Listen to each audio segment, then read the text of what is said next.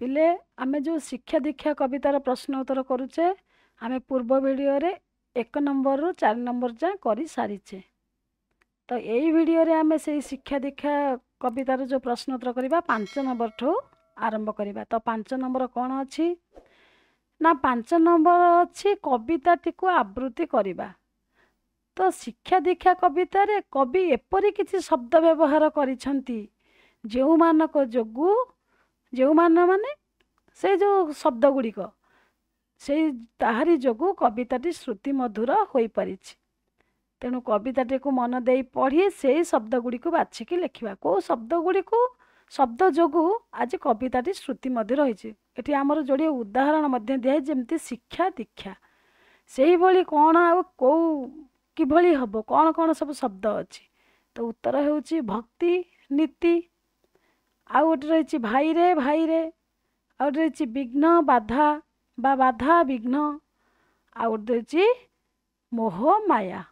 ଏସବୁ ଆମର ଏଇ ଶବ୍ଦ ଗୁଡ଼ିକ ଯୋଗୁଁ କବିତାଟି ଆହୁରି ଆମକୁ ଭଲ ଲାଗୁଛି ଅର୍ଥାତ୍ ଶ୍ରୁତି ମଧୁର ହେଇପାରୁଛି। ଏବେ ଛଅ ନମ୍ବର କ'ଣ ଅଛି ଦେଖିବା? ଛଅ ନମ୍ବର ଅଛି ଶୂନ୍ୟ ସ୍ଥାନ ପୂରଣ କରିବା। ତ କରେ କ'ଣ ରହିଛି ନା ଶିକ୍ଷା କର ପିତୃଭକ୍ତି। ତାପରେ ଆମର ଦେଇଛି ଶୂନ୍ୟ ସ୍ଥାନ। ଭିକ୍ଷା କର ପଛେ ସତ୍ୟ ବାଟ ନ ଛାଡ଼। ତାହେଲେ ସେଇ ଶୂନ୍ୟ ସ୍ଥାନରେ କ'ଣ ହେବ? ନା ଶିକ୍ଷା କର ପିତୃଭକ୍ତି? ଦୀକ୍ଷା କର ଏହି ନୀତି। ଭିକ୍ଷା କର ପଛେ ସତ୍ୟ ବାଟ ନ ଛାଡ଼। ଖ ନମ୍ବର ଯିବା।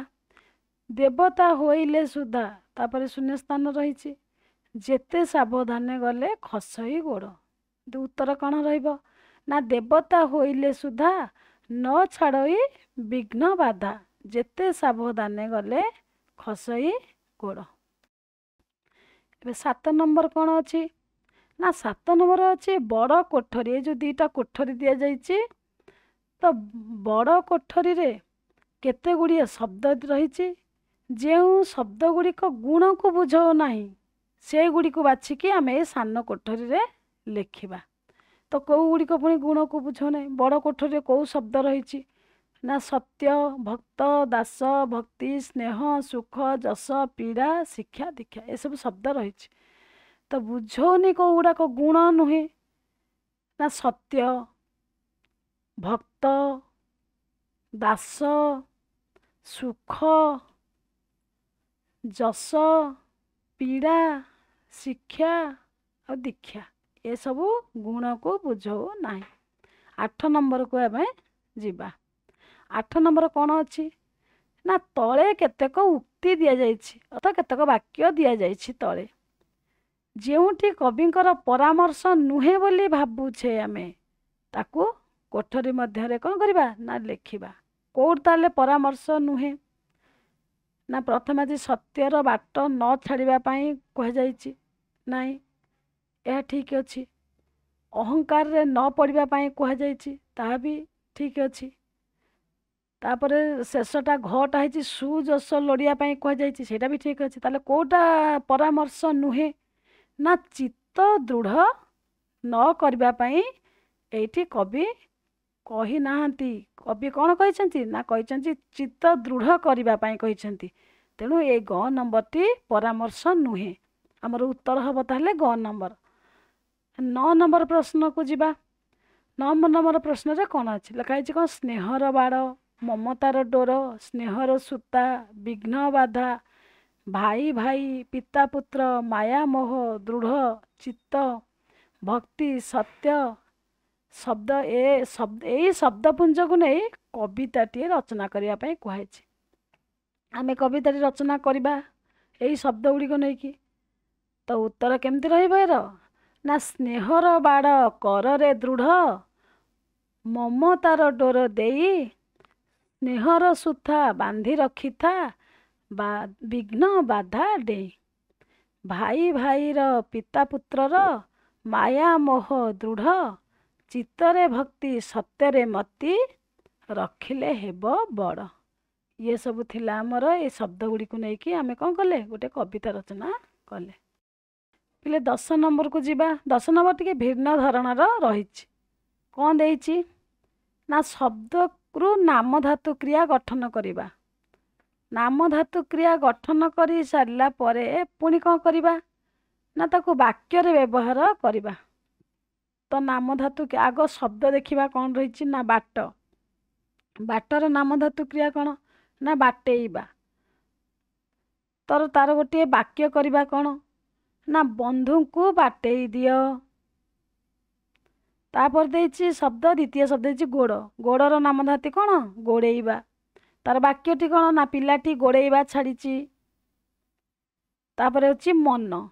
ମନେଇବା ନାମ ଧାତୁ ମୁଁ ସମସ୍ତଙ୍କୁ ମନେଇ ପାରେ। ତାପରେ ଦେଇଛି ଆଖି। ଆଖିର ନାମ ଧାତୁ ଆଖେଇବା। ଚୋରଟି ବ୍ୟାଗ୍ଟିକୁ ନେବାକୁ ଆଖେଇଛି। ହାତ। ହାତର ନାମ ଧାତୁ ହାତେଇବା। କୌଶଳ କରି ସେ ସମସ୍ତ ଧନ ହାତେଇ ନେଲା ଏ ଥିଲା ଆମର ଦଶ ନମ୍ବର ତାପରେ ଯିବା ଏଗାର ନମ୍ବରକୁ ଏଗାର ନମ୍ବର ଅଛି ଏକା ଭଳି ଶୁଭୁଥିବା ଅଲଗା ଅର୍ଥ ଥିବା କେତେ ଗୁଡ଼ିଏ ଶବ୍ଦ ତଳେ ଲେଖାଯାଇଛି ସେମାନଙ୍କର ସ୍ପଷ୍ଟ ଅର୍ଥ ପ୍ରକାଶ କରିବା ନିମନ୍ତେ ସେମାନଙ୍କୁ ବାକ୍ୟରେ ବ୍ୟବହାର କରିବା ଏଗୁଡ଼ିକ ସବୁ କେଉଁ ଶବ୍ଦ ସମଚାରିତ ଶବ୍ଦ ଅର୍ଥ ସମାନ ଉଚ୍ଚାରିତ ଶବ୍ଦ ସମାନ ଉଚ୍ଚାରିତ ଶବ୍ଦ ହେଲେ ମଧ୍ୟ କ'ଣ ଏହାର ଏକା ଭଳି ଶୁଣାଯାଉଥିବ କିନ୍ତୁ ଆର ଅର୍ଥ ସବୁ ଭିନ୍ନ ରହିଛି। ତ ଆମେ ଦେଖିବା ସୁଧା କ'ଣ ସୁଧା ସୁଧା ଦୁଇଟି ଲେଖା ହେଇଛି। ତାହେଲେ ପ୍ରଥମ ସୁଧା ଦେଖିବା କ'ଣ ନା ତାର ବାକ୍ୟ ନେଇ ଗଢ଼ିବା ଦେବତା ମାନେ ସୁଧା ପାନ କରି ତୃପ୍ତ ହେଲେ। ଏଇଠି ସୁଧା ଅର୍ଥ କ'ଣ? ଅମୃତ। ଦ୍ୱିତୀୟ ସୁଧା ଦ୍ୱିତୀୟ ଧ ସୁଧା କ'ଣ ନା ଗୋପାଳ କାଲି ସୁଦ୍ଧା ଫେରି ଆସିବ ଏ ହେଉଛି ଏ ସୁଦ୍ଧା ତାପରେ ଦେଇଛି ଆସ ପରଧନ ପ୍ରତି ମୋର ଆସ ନାହିଁ ଅର୍ଥ ଆଶା ବା ଇଚ୍ଛା ନାହିଁ ଏଇଠି ଆସ ଦନ୍ତେଶ ଆସ କ'ଣ ନା କାଲି ସନ୍ଧ୍ୟା ବେଳକୁ ତୁମେ ଆମ ଘରକୁ ଆସ ତ ଡାକିବା ଆସିବା ଯେଉଁ ତାପରେ ଦେଇଛି ନୀତି ଦୁଇଟା ଯାକ ହର୍ଷଇ ଏଗୁଡ଼ା ମନେ ରଖିବାକୁ ପଡ଼ିବ ସେ ନୀତିଦିନ ପ୍ରାର୍ଥନା କରନ୍ତି ନୀତିଦିନ ମାନେ ପ୍ରତିଦିନ। ତାପରେ ଦେଇଛି ନୀତି ଏଠି ନ ଦୀର୍ଘଇ ତରେ ହର୍ଷଇ ନୀତି। ସୁବାସର ନୀତି ଗୁଡ଼ିକ ଭଲ ନୁହେଁ। ତ ଏଠି ନୀତି ଅର୍ଥ କ'ଣ? ନା ନୀତି ନିୟମ। ବାର ନମ୍ବର କ'ଣ ଅଛି? ନା ମୋହମାୟା ବାଧାବିଘ୍ନ ଭଳି ଆଉ ଚାରୋଟି ଯୁଗ୍ମ ଶବ୍ଦ ଲେଖିବା। ତାହେଲେ ଲେଖିବା କ'ଣ ଯୁଗ୍ମ ଶବ୍ଦ? ନା ଲୋଭ ମୋହ ସୁଖ ଦୁଃଖ ବାଧା ବନ୍ଧନ ଧନ ରତ୍ନ। ତେର ନମ୍ବର କ'ଣ ଅଛି? ନା ଲକ୍ଷ୍ମଣଙ୍କ ମାଙ୍କ ନାମ ସୁମିତ୍ରା। ସୁମିତ୍ରାଙ୍କ ପୁଅ ହୋଇଥିବାରୁ ଲକ୍ଷ୍ମଣଙ୍କର ଆଉ ଗୋଟିଏ ନାଁ ହେଉଛି ସୌମିତ୍ରୀ। ନିଜ ମାଙ୍କ ନାମ ଅନୁସାରେ ନାମ ଧାରଣ କରିଥିବା ଆଉ ପାଞ୍ଚ ଜଣ ପୌରାଣିକ ଚରିତ୍ରଙ୍କ ନାମ ଲେଖିବା। ସେ କ'ଣ ଦେଇଛନ୍ତି? ନା କୁନ୍ତୀଙ୍କ ପୁତ୍ର କନ୍ତେୟ। ପୃଥାଙ୍କ ପୁତ୍ର ଯେମିତି କିଏ? ନା ପୃଥୁ। ପୃଥୁ କିଏ ସେ? ସେ ହେଉଛନ୍ତି ଅର୍ଜୁନ। ପୃଥା ହେଉଛନ୍ତି କୁନ୍ତି ହେଲା। ତାପରେ ବିନତାଙ୍କ ପୁତ୍ର ବୈନେତେୟ ରାଧାଙ୍କ ପୁତ୍ର ରାଧେୟ ଗଙ୍ଗାଙ୍କ ପୁତ୍ର ଗାଙ୍ଗେୟ। ଚଉଦ ନମ୍ବର କ'ଣ ଅଛି? ନା ଭିକ୍ଷା କର ପଛେ ସତ୍ୟ ବାଟ ନ ଛାଡ଼। ଏଇ ଧାଡ଼ିର ପ୍ରକୃତ ଅର୍ଥକୁ ନିମ୍ନରେ ପ୍ରଦତ୍ତ ଉତ୍ତର ମଧ୍ୟରୁ ବାଛିକି ଲେଖିବା। ତାହେଲେ ଏଇ ଧାଡ଼ି ଗୋଟିଏ ଧାଡ଼ି ପାଇଁ ଚାରୋଟି ଦେଇଛି ଉତ୍ତର। ତ କେଉଁ ଉତ୍ତରଟି ଠିକ୍ ତାକୁ ଆମେ ଦେଖିବା।